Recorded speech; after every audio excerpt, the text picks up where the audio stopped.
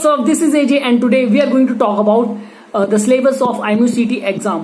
so, जो ये video होने वाली है उस पर मैं आपको बताने वाला हूँ सब्जेक्ट टू सब्जेक्ट वाइज ठीक है कि आपको कौन से इंपॉर्टेंट टॉपिक्स पढ़ने हैं कौन से टॉपिक आप छोड़ सकते हो सो so, जो मेरी पिछली वीडियोस थी उसके नीचे कमेंट में दो तीन कमेंट आए थे uh, कि भैया आप एमयूसीटी के एग्ज़ाम के सिलेबस के ऊपर आप वीडियो बना लो। सो ये वीडियो मैं उसी लिए बना रहा हूँ।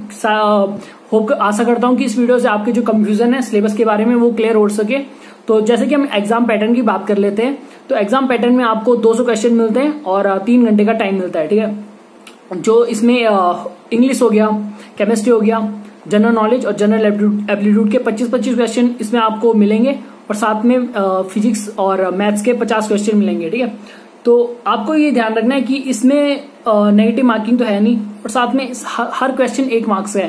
तो आप ज़्यादा से ज़्यादा स्कोर आप तभी कर सकते हो जब आप सब में एक नो एक इक्वल अटेंशन दो।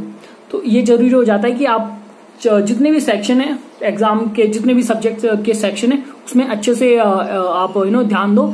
और जो आसान से क्वेश्चन है उसको जल्दी टॉपिक को कवर करने की कोशिश करो क्योंकि एक ही नंबर के हैं सारे क्वेश्चन तो और जो कठिन है उनको आप छोड़ भी सकते हो ठीक है? तो ये वीडियो पूरी इस पे होने वाली है और मैं सिलेबस में जो ये सारे सब्जेक्ट वाइज आपको बताने वाला हूँ तो इनको आप नोट कर सकते हो सो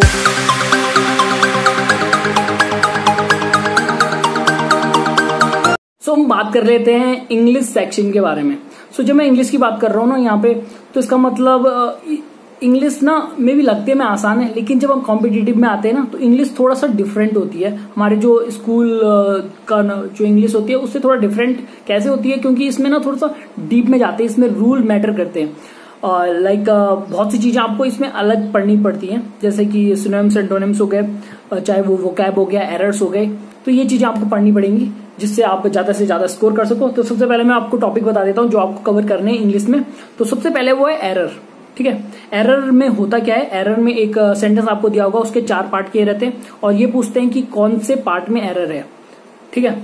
सिंपल सा तो इसके लिए आपको थोड़ा प्रैक्टिस करनी होगी और प्रैक्टिस के साथ रूल पढ़ने होंगे। कुछ रूल्स ऐसे होते हैं जो यू नो आपकी बहुत हेल्प करेंगे। सीधे पहचान जाओगे आपकी एरर कहाँ पे जैसे कि एक एग्ज़ाम्पल के लिए मैं आपको बताता हूँ, जब आप एक यू नो इफ़ की कंडीशन होती है इमेजिनरी कंडीशन बोलते हैं इफ़ की कंडीशन होती है इफ़ अपने साथ जब इफ़ आई वॉज़ होता है, ठीक है तो यहाँ पे इफ़ आई आई अपने साथ वॉज़ नहीं लेता है। जब इफ़ कनेक्टेड है तो इफ़ आई वर लेगा, ठीक है वॉज़ नहीं लेगा। तो ये एक रूल है मैं जस्ट आइडिया देने, दे रहा हूँ कि कैसे आपको यू नो रूल्स पढ़ने और जिससे आपको हेल्प मिलेगी, ठीक है। तो एरर्स का हो गया। दूसरा हो गया पार्ट ऑफ़ स्पीच आपको अच्छे से पढ़नी पड़ेगी और प्री पोजिशन कंजक्शन और प्रोनाउन आपको अच्छे से देखना है इस पार्ट ऑफ़ स्पीच में और जनरल नॉलेज आपको उसकी बेसिक नॉलेज होनी चाहिए।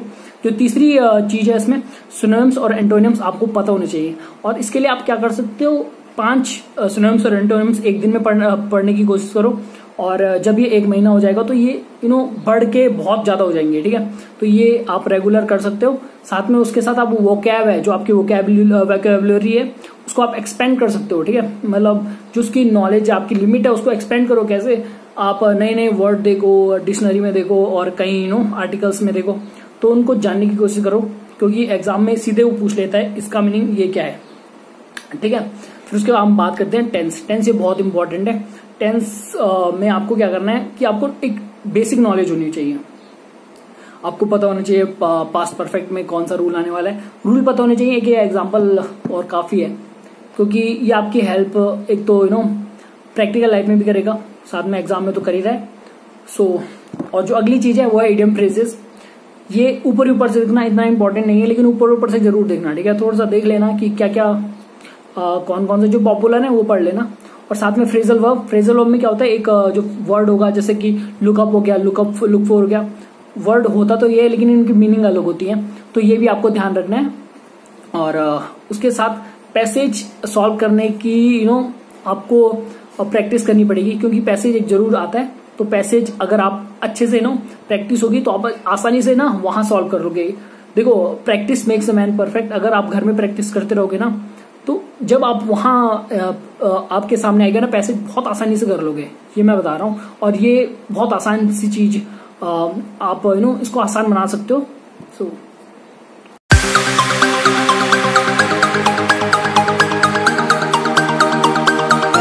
अब हम बात कर रहे थे केमिस्ट्री की। तो केमिस्ट्री में आपको उतना फोकस नहीं करना है। अब मैं ये क्यों बोल रहा हूँ? क्योंकि जब आप केमिस्ट्री का एग्ज़ाम जब केमिस्ट्री का यू नो आपका सेक्शन होगा ना, उसमें आपको बहुत से बेसिक क्वेश्चन मिल देखने को मिलेंगे। बेसिक क्वेश्चन मतलब ऐसे क्वेश्चन जो सिलेबस से उतने रिलेटेड नहीं है। लाइक ऐसे क्वेश्चन होंगे कि आयरन पे जैसे कि जंक किस वजह से लगता है लाइक व्हाइट वाटर और एयर तो ऐसी कुछ चीज़ें ना, ऐसे क्वेश्चन आपको पूछे जाएँगे या आपको पूछा जाएगा कि बेकिंग सोडा का फॉर्मूला ऐसे क्वेश्चन कुछ होते हैं जिसकी वजह से नो एक तो 25 क्वेश्चन है, साथ में कुछ बेसिक क्वेश्चन है जिसकी वजह से कम से कम क्वेश्चन बच जाते हैं जिसको हमें सिलेबस से कवर करना होता है। लेकिन यहाँ पे फिर भी मैं आपको उस टॉपिक बता देता हूँ जो आपको पढ़ने होंगे, जिससे क्वेश्चन आने के सबसे ज़्यादा चांसेस होते हैं।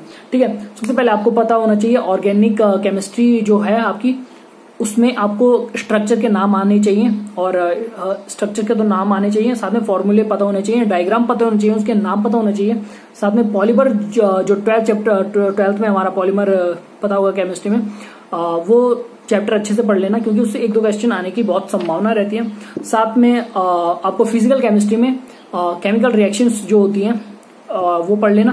साथ में जो बैटरी सेल्स था, उस सेक्शन को भी पढ़ लेना और एब्जॉर्प्शन एब्जॉर्प्शन ये चीज़ें थोड़ा पढ़ लेना और साथ में प्रैक्टिकल चीज़ें आपको पता होनी चाहिए कि सॉल्ट का कलर बस। इससे ज़्यादा कुछ भी नहीं करना है और ये आपकी बहुत हेल्प करेगा। मीन्स मोर देन इनफ हो गया ये। अगर आप इतना कर ले तो केमिस्ट्री के सेक्शन में आपको डरने की ज़रूरत नहीं है।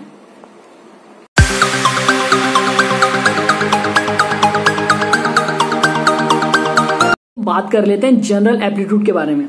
तो ये एक ऐसा सेक्शन है जहाँ पे आप ज़्यादा से ज़्यादा स्कोर कर सकते हो, ठीक है? आप अगर आपके कहीं पे कम भी आ रहे हो ना मार्क्स तो आप जनरल एप्टीट्यूड से उसे बैलेंस कर सकते हो। मैं इसलिए ये बोल रहा हूँ क्योंकि इसमें ना बहुत ज़्यादा डिफ़िकल्ट क्वेश्चन आते नहीं है, लेकिन आपको इसके लिए प्रैक्टिस होना ज़रूरी है, ठीक है?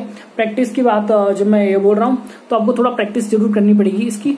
तो इसके जो टॉपिक्स हैं, सबसे पहले है लॉजिक बेस्ड क्वेश्चन आपको पता होना चाहिए लॉजिक बेस्ड क्वेश्चन में जो डायरेक्शंस हो गई डायरेक्शन मतलब नॉर्थ साउथ ये वाले प्रॉब्लम्स आपको आने चाहिए। साथ में डिस्टेंस के आपको आने चाहिए। डिस्टेंस का मतलब अगर आप जो नॉर्थ की साइड में 12 किलोमीटर जा रहे हो, फिर वेस्ट में जो पाँच किलोमीटर जा रहे हो, फिर पता चल गया ना रिजल्टेंट निकालना होता है, उसमें तेरह आ गया। तो ऐसी चीज़ें आपको पता होनी चाहिए।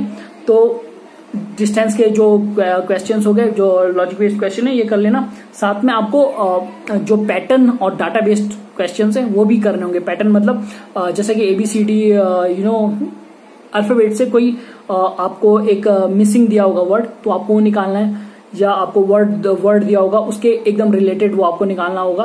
तो ये चीज़ें आपको थोड़ा ध्यान में रखनी है। और साथ में जो एक इंपॉर्टेंट चीज़ है इसमें, वो है पिक्चर रीजनिंग पिक्चर रीजनिंग में आपको चार पिक्चर दी होंगी। तो पहली पिक्चर में अगर कोई घड़ी है या कुछ भी कोई एक पिक्चर है और दूसरी है, फिर तीसरी है, फिर चौथी में वो पूछते हैं कि ये चौथे में क्या आएगा। तो इस चीज़ में आपको थोड़ा सा प्रैक्टिस होनी चाहिए, वरना आप टाइम ले लोगे, ठीक है? और आपको टाइम वेस्ट नहीं करना है, क्योंकि टाइम आपको बचाना है मैथ और फिजिक्स के सेक्शन के लिए। तो इन सेक्शनों में ना आपको जल्दी से जल्दी करना है और जल्दी से जल्दी आप तभी कर सकोगे जब आपकी प्रैक्टिस होगी। तो ये चीज़ और एक जो टॉपिक इसमें बहुत इंपॉर्टेंट है, ठीक है? पक्का आता है इसका क्वेश्चन परसेंटेज यह हो गया हमारा सिंपल इंटरेस्ट वाला और यह कंपाउंड इंटरेस्ट का हो गया। ये क्वेश्चन ठीक है? परसेंटेज का तो खासकर आता है और ये चीज़ आपने पढ़ ली तो आपकी general aptitude more than enough है, ठीक है? क्योंकि और क्वेश्चन कुछ ज़्यादा कठिन आते नहीं और एक और चीज़ है, इसमें जो आपको ध्यान रखनी एज वाले क्वेश्चन होते हैं या रिलेशन वाले क्वेश्चन हो गए, वो भी थोड़ा सा यू पढ़ लेना क्योंकि उनमें से एक दो क्वेश्चन पक्का आएँगे।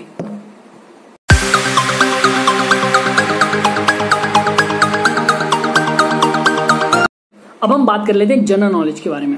सो जब मैं जनरल नॉलेज की बात कर रहा हूँ ना तो यहाँ पर ये एक सेक्शन है जहाँ पे आपके पास यू नो कोई कंट्रोल नहीं है। ठीक है? कंट्रोल क्यों नहीं है? क्योंकि इसमें दो चीज़ जो आती है, वो एक करंट अफेयर आ गया और दूसरा हो गया बेसिक जनरल नॉलेज जो करंट अफेयर है, वो आप पढ़ सकते हो, ठीक है? आप क्या कर सकते हो? तीन महीने के जो पुरानी करंट अफेयर है, वो अच्छे से पढ़ लो। दो महीने की करंट अफेयर पढ़ लो, अच्छे से पढ़ लो, ठीक है? तो मतलब बहुत से क्वेश्चन आप वहाँ से आराम से स्कोर कर सकते हो उन करंट अफेयर से। लेकिन जब हम बात करते हैं बेसिक जनरल नॉलेज तो बहुत वास्ट है, बहुत ज़्यादा है। तो उसमें अगर आपने ये भी पढ़ा होगा तो क्या पता वो कहीं और से आ जाए। तो ये उतना डिपेंड नहीं करता आपके पढ़ने पे। तो इसके लिए आपको यू नो थोड़ा सा करंट अफेयर ज़्यादा पढ़ना पड़ेगा, जिससे आप इस सेक्शन में अच्छे से स्कोर कर सको, ठीक है?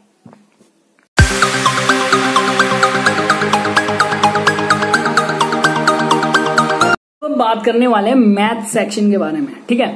मैथ और फिजिक्स पचास पचास क्वेश्चन के तो आपको ये ध्यान रखना है कि इनको आप अच्छे से पढ़ लो, ठीक है? क्योंकि अगर आपने इनको अच्छे से पढ़ा है तो आप मैक्सिमम मार्क्स आराम से, पचास परसेंट मार्क्स दोनों में ही आ जाते हैं फिजिक्स और फिजिक्स और मैथ्स के, ठीक है? तो आपको इन दोनों सेक्शन को अच्छे से पढ़ना है। और इसमें क्या है खासकर ना मैथ्स में एक चीज़ आपको ये देखने को मिलेगी कि जो ट्वेल्थ का सिलेबस है ना, वो ज़्यादा है इलेवेंथ के मुकाबले। जैसे कि फिजिक्स में फिजिक्स में भी, नो, एक रिलेटेड है इलेवेंथ का भी काफ़ी हद तक उतना है ट्वेल्थ का भी उतना ही है। लेकिन जो हम मैथ्स की बात करें तो उसमें ट्वेल्थ का ज़्यादा है। तो आपके लिए एक एडवांटेज है, क्योंकि आप ट्वेल्थ से जस्ट निकले हो तो आपको बहुत सी चीज़ें पहले से पता है। तो इसमें जो टॉपिक्स हैं, वो आपको कौन कौन से ध्यान में रखने हैं, वो है डिटर्मिनेंट एंड मैट्रिक्स पहला, जो चैप्टर है, इसमें आपको क्या ध्यान रखना है? कि आपको प्रॉपर्टीज़ अच्छे से पढ़नी है, ठीक है? प्रॉपर्टीज़ अच्छे से पढ़ लो, क्योंकि यहाँ से एक क्वेश्चन आ जाता है और प्रॉपर्टीज़ में फंस जाता है, क्योंकि मैट्रिक्स और डिटर्मिनेंट निकालना सबको आ जाता है। लेकिन प्रॉपर्टीज़ बहुत दिनों एक ऐसा क्वेश्चन पूछ लेता है कभी कभी प्रॉपर्टीज़ का कि यू नो स्टूडेंट थोड़ा फंस जाता है। तो इस चीज़ में ध्यान रखना। दूसरी चीज़ है टू देखो, दो तीन चैप्टर में पहले बता देता हूँ। Two D three D differentiation integration limit continuity और ट्रिग्नोमेट्री जो ये चैप्टर थे ना ये सारे चैप्टर ये समझो मैथ्स के पूरा वेटेज ये आधा वेटेज इन्हीं का ही है, ठीक है? इनसे बहुत क्वेश्चन पूछेगा। तो जो टू है ना, अच्छे से पढ़ लेना, ठीक है? बहुत अच्छे से थ्री है, वो भी बहुत अच्छे से पढ़ लेना, उसके साथ वैक्टर अच्छे से पढ़ लेना। मीन्स ये डीप में पढ़ने आपको, ठीक है? या आप में आप कुछ छोड़ नहीं सकते, ठीक है? इसलिए बोल रहा हूँ मैं, इसलिए जोड़ दे रहा हूँ इनमें, क्योंकि ये आधा से ज़्यादा चीज़ें कवर कर लेंगी। ठीक है? थ्री हो गया टू हो गया मैट्रिक्स और डिटर्मिनेंट हो गया वेक्टर हो गया, उसके बाद आता है इंटीग्रेशन इंटीग्रेशन का क्वेश्चन आसान है और वो ज़रूर पूछेगा। और ज़रूर क्या पूछेगा? मतलब तीन क्वेश्चन पक्का, या तीन या दो क्वेश्चन पक्का आते हैं इसके ठीक है तो अच्छे से इंटीग्रेशन पढ़ लेना। फिर आता है हमारा डिफ्रेंशिएशन डिफ्रेंशिएशन देखो डिफ्रेंशिएशन में क्या है ना, आसान सा आता है, सबको पता है। मैक्सिमम मिनिमम ज़्यादा ज़्यादा पूछ लेगा उसके साथ, अगर लिमिटेड क्वांटिटी से आएगा तो। डिफ्रेंशिएशन में भी आराम से आप कर सकते हो। और एओडी से बहुत आसान क्वेश्चन पूछता है। तो एओडी उतना वो तंग नहीं करने वाला आपको। फिर आता है हमारा एलजेब्रा एलजेब्रा में जैसे कॉम्प्लेक्स नंबर हो गया. कॉम्प्लेक्स नंबर के आपको पढ़ना पड़ेगा. इससे भी दो तीन क्वेश्चन पक्का आते हैं, ठीक है? हाइट एंड डिस्टेंस देखो, एक ऐसा चैप्टर है ना, आसान है और जितने क्वेश्चन आएँगे, दो क्वेश्चन साइज़ से आते हैं इसके पक्का आते हैं, ठीक है? एक क्वेश्चन तो पक्का इसका, लेकिन दो क्वेश्चन में अगर मान के चल रहा हूँ मैक्सिमम आ गया तो इसमें क्या करना है, जो कॉट का एक फॉर्मूला होता है ना cot A plus cot B वाला तो ये वाला फॉर्मूला आपको अच्छे से याद करना है, ठीक है? ये कर लेना याद आ, क्योंकि इसी से ही एक क्वेश्चन पक्का बनता है। ठीक है? ठीक है ये हो गया फिर लिमिटेड कॉन्टिन्यूटी ये बहुत इंपॉर्टेंट चीज़ है और बिल्कुल इसको ना छोड़ना ही मत। इससे बहुत क्वेश्चन आने वाले हैं और बहुत आसान चैप्टर है। फिर उसके बाद आता है प्रोबेबिलिटी प्रोबेबिलिटी उतनी ज़्यादा नहीं है इसमें। ज़्यादा ज़्यादा प्रोबेबिलिटी के यू नो सिंपल क्वेश्चन कर लो ऊपर ऊपर का देख के। फिर उसके बाद आता है ट्रिग्नोमेट्री ट्रिग्नोमेट्री बहुत इंपॉर्टेंट है। बहुत ज़्यादा इंपॉर्टेंट है मतलब एकदम इससे चार या पाँच क्वेश्चन ठीक है? ट्रिग्नोमेट्री बहुत इंपॉर्टेंट है इसलिए जोड़ दे रहा हूँ क्योंकि सही में इंपॉर्टेंट है और इसमें चार पाँच क्वेश्चन आप आराम से फंसा सकते हो। और इसको अच्छे से ध्यान देना ठीक है? ट्रिग्नोमेट्री को और इनवर्स ट्रिग्नोमेट्री में भी ध्यान देना मतलब ट्रिग्नोमेट्री का मतलब वही है इनवर्स ट्रिग्नोमेट्री भी और ट्रिग्नोमेट्री भी। और, फिर हमारा क्वाड्रेटिक क्वेश्चन तो क्वाड्रेटिक क्वाड्रेटिक क्वेश्चन में आपको ना चीज़ें पता होनी चाहिए लाइक एल्फा प्लस बीटा का फॉर्मूला एल्फा प्लस बीटा का होल स्क्वायर का फॉर्मूला और जो अलग अलग से फॉर्मूला आते हैं ना, उनका वो चीज़ आपको पता होनी चाहिए, जो फॉर्मूलेज हैं, ठीक है? देखो आपको रूट्स निकालने होंगे, ऐसी चीज़ें तो पूछे गई लेकिन जो फॉर्मूले होंगे ना, इनसे ही ये कहीं ना कहीं बेस होगा, वो क्वेश्चन को सॉल्व करने का। तो ये चीज़ आपको ध्यान रखनी है। फिर हम आते हैं सिकेंड सिक्वेंस एंड सीरीज़ तो इसमें आपको जो चीज़ ध्यान रखनी है, वो है आपको सम वाले फॉर्मूले याद होने चाहिए। सम वाले फॉर्मूले याद कर दिए, ठीक है? और आ, और इसमें एचपी इंपॉर्टेंट है ठीक है? एपी जीपी सब कर लेते हैं एच एचपी भूल जाते हैं। एचपी हम ट्वेल्थ में नहीं करते लेकिन यहाँ पे करनी पड़ेगी। मैथ्स का सेक्शन ऐसा है ना देखो सॉल्व करना पड़ेगा टाइम लगेगा। लेकिन अगर आपको चीज़ें पता है तो आप सीधे कर लोगे ठीक है? एचपी का पढ़ के आना फॉर्मूला पढ़ लेना और बहुत हेल्प करेगा। ये सेकेंडरी सीरीज़ में बहुत क्वेश्चन आते हैं। काफ़ी अच्छे क्वेश्चन आएँगे और पता होगा तो आप जल्दी से कर लोगे, ठीक है? फिर उसके बाद आता है रिलेशन एंड फ़ंक्शन तो इसमें तो आपको सबसे पहले रेंज निकालनी आनी चाहिए, ठीक है? जो इंपॉर्टेंट है वो बता रहा हूँ। डोमेन का उतना है नहीं रेंज का इंपॉर्टेंट है रेंज पता होनी चाहिए। साथ में आपको वेन डायग्राम आना चाहिए। वेन डायग्राम बहुत इंपॉर्टेंट है यहाँ पे। क्यों? टाइम सेविंग रहेगा और बहुत से क्वेश्चन यू नो एक बड़े फॉर्मेट में आ जाते हैं, जो कंफ्यूज कर लेते हैं। लेकिन अगर आपको वेन डायग्राम का अच्छा नॉलेज है तो आप आराम से क्वेश्चन सॉल्व कर लोगे, बस। ये चीज़ आपको ध्यान में रखनी है। जितनी मैंने चीज़ें बताई हैं लेकिन इस चीज़ में ना ये ध्यान रखना कि इन चीज़ों को आप लास्ट में सॉल्व करो। देखो, जो मैंने जो ये टाइम कंज्यूमिंग है, ठीक है, इनको आप लास्ट में ट्राई करने की कोशिश करना, क्योंकि सब एक एक नंबर के हैं, ठीक है? तो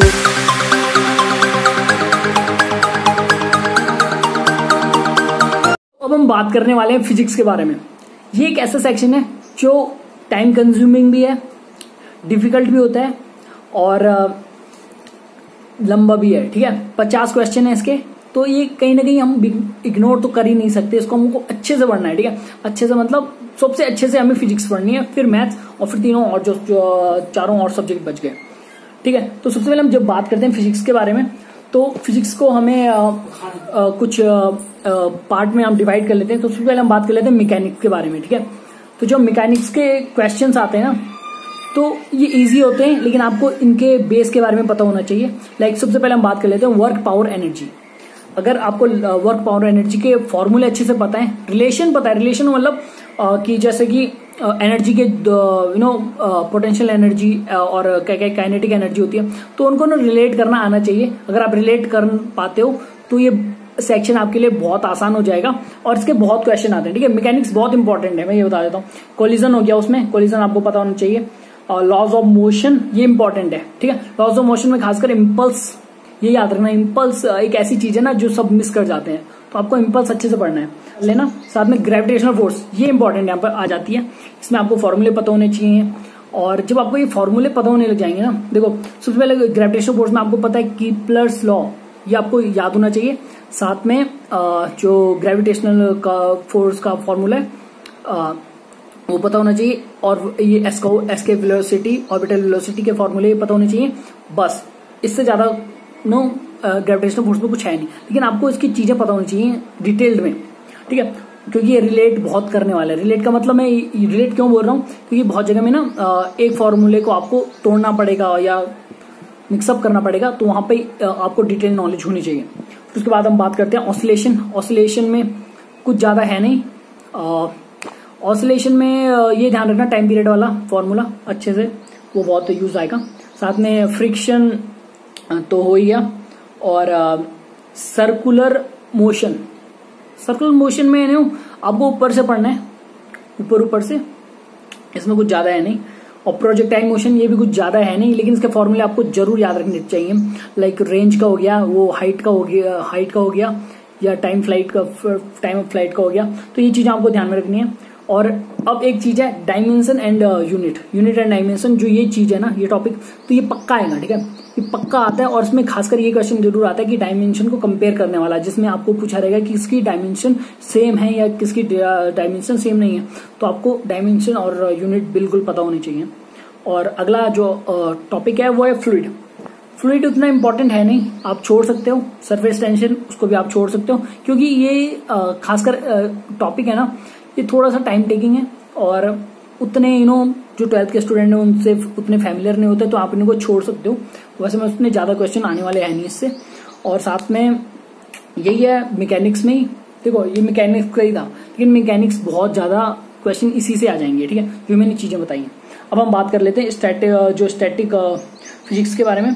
तो जो हम बात करते हैं स्टार्टिंग में तो चार्जेस के सारे फॉर्मूले आपको पता होने चाहिए। कैपेसिटर जो ये सारे फॉर्मूले हैं पैरेलल सीरीज़ ये सारे फॉर्मूले पता होने चाहिए आपको करना कैसे। कॉलम स्लॉ पता होना चाहिए। इलेक्ट्रिक फ़ील्ड का जितने भी लॉज हैं, सारे पता होने चाहिए। ये आसान आसान चीज़ें क्योंकि आपने पढ़े हुए हैं। और ऊपर से पढ़ लेना थोड़ा, बस, कुछ ज़्यादा, और ये प्रॉपर्टीज़ भी पढ़ लेना वो इलेक्ट्रिक फ़ील्ड लाइन्स की। बस, ठीक है? अब हम आते हैं करंट इलेक्ट्रिसिटी में। जब हम करंट इलेक्ट्रिसिटी की बात करते हैं ना तो इसमें कुछ चीज़ आपको पता होनी चाहिए। ओम्स लॉ ठीक है? जितने भी फॉर्मूले हैं इसके, सारे पढ़ लेना, ठीक है? ओम्स लॉ तो हो गई, लेकिन साथ में जितने फॉर्मूले हैं, चाहे वो ड्रिफ्ट वेलोसिटी हो वेलोसिटी हो गया, ये आ सकते हैं, ठीक है? क्योंकि आ कैसे सकते हैं? ये प्रोपोर्शनल में सवाल पूछेगा मतलब किस पे डिपेंड करता है। तो ये चीज़ें आपको रिलेट करनी होंगी, और एक है चॉप्स लॉ ठीक है? उसमें भी आपको ध्यान रखना हो गया जो कि चॉप्स लॉ के दो रूल हैं, ठीक है? उनको पढ़ लेना क्योंकि वो उससे भी सवाल पूछ लेता है। ठीक है? और मैग्नेटिक फ़ील्ड उतना इंपॉर्टेंट नहीं है लेकिन बस फॉर्मूले फॉर्मूले और ऊपर ऊपर से पढ़ लेना मैग्नेटिक फ़ील्ड को फिर उसके बाद हम बात करते हैं ऑप्टिक्स ऑप्टिक्स में उतना डीप में यहाँ नहीं पूछता वो मे बी इंपॉर्टेंट चैप्टर और जगह होता है लेकिन यहाँ उतना इंपॉर्टेंट नहीं है। इसमें आपको क्या करना है? Human eye and defects believe में ये एक uh, ऐसी चीज़ है जो मे बी हम उतना यू नो पढ़ते नहीं है लेकिन ये बहुत इंपॉर्टेंट है। ह्यूमन आई से वो पूछ लेगा ठीक है अच्छे से पढ़ना ह्यूमन आई और डिफेक्ट अच्छे से पढ़ना डिफेक्ट बहुत ज़रूरी है। उसके बाद बात करते हैं इंस्ट्रूमेंट इंस्ट्रूमेंट जितने भी हैं उसके फॉर्मूले पढ़ लेना क्योंकि यू नो कभी कभी फॉर्मूले से पूछ लेगा या सिंपल सा सिंपल क्वेश्चन वो फॉर्मूले से ही पूछ लेगा इंस्ट्रूमेंट का ठीक है? और साथ में आपको यही ध्यान रखना है कि जो ये डिफ्रैक्शन हो गया आ, या इंटरफ्रेंस हो गया तो इनके ना आपको बेसिक चीज़ें पता होनी चाहिए। फॉर्म मतलब इनकी डेफिनेशन पता होनी चाहिए इनको इनके एग्ज़ाम्पल पता होने चाहिए। ठीक है? और ऑप्टिकल वायर वाला जो ये चीज़ें रिफ्लेक्टिव इंडेक्स ये चीज़ें थोड़ा सा इनके बारे में नॉलेज होना चाहिए और कुछ नहीं है। और हम लास्ट बात कर लेते हैं मॉडर्न फिजिक्स के बारे में, ठीक है? मॉडर्न फिजिक्स में भी आपको एक बाइंडिंग एनर्जी का फॉर्मूला बिल्कुल एक इंपॉर्टेंट चीज़ है। साथ में वेव लेंथ फ्रिक्वेंसी का जो चार्ट होता है ना उसका ऑर्डर पता होना चाहिए। चाहे आपको वो पता होना हो कि एक्सरे की कितनी फ्रिक्वेंसी है, लेकिन आपको ऑर्डर पता होना चाहिए क्योंकि ऑर्डर से एक क्वेश्चन आ जाएगा। ठीक है? फिर उसके बाद, और जो लास्ट चीज़ है, वो है रेडियो एक्टिविटी के जितने भी फॉर्मूले हैं, वो पता होने चाहिए। और साथ में जो ये नहीं है फ़ोटो इलेक्ट्रिक इफ़ेक्ट इनकी डेफिनेशन पता होनी चाहिए, क्योंकि बहुत टाइम इनसे पूछ लेता है। और आइंस्टाइन का फॉर्मूला हो गया वहाँ पे। तो वो चीज़ें आपको पता होनी चाहिए और ये बहुत हेल्प करेंगी आपको, ठीक है? और साइड में एक चीज़, ठीक है? हीट में जो थर्मोडाइनमिक्स था ना थर्मोडाइनमिक्स में मैंने बताया था कि जो आपको लॉस पता होना चाहिए तो उसमें ना जो फॉर्मूला नहीं है delta Q equals to delta U plus W तो उसमें आपको एक चीज़ को कांस्टेंट रख के दूसरी चीज़ें भी पता निकाल के निकालनी आनी चाहिए। मतलब कि अगर मैं इसको कांस्टेंट रखूँगा तो क्या कांस्टेंट हो जाएगा? समझ रहे हो ना? ये एक वेरिएशन चीज़ें हैं जो आपको मिल जाएगा अगर नेट पे सर्च कर लेना अगर नहीं मिलेगा तो। और साथ में आपको बॉयल्स लॉ चार्ल्स लॉ इन चीज़ों का भी पता होना चाहिए, ठीक है? सो so, फिजिक्स में इतना ही था। अगर आप इतना कर लोगे आसानी से आप इस सेक्शन को एकदम यू नो तोड़ सकते हो एकदम स्कोर कर सकते हो। सो so, इस वीडियो में आपको पता चला कि कौन से टॉपिक्स इंपॉर्टेंट हैं आपके लिए। और मैं भी आशा करता हूँ कि आपको यू you नो know, इस वीडियो के बाद आपके डाउट्स क्लियर हो गए हों।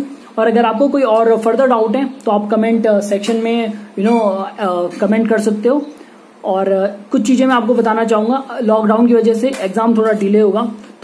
इस टाइम को आपने यूटिलाइज कर सकते हो। इस टाइम पे आप अपना जो टॉपिक्स है सिलेबस है कवर कर सकते हो। और ये ध्यान में रखना कि जो आसान टॉपिक है, वो पहले कर लो आप। और जो थोड़ा मुश्किल टॉपिक है, वो थोड़ा बाद के लिए बचा लेना। ठीक है? उसको बाद में ट्राई करना। इससे क्या होगा? आपका सिलेबस जल्दी तो कंप्लीट हो गई, लेकिन कॉन्फिडेंस भी आपका बूस्ट होगा। ठीक है?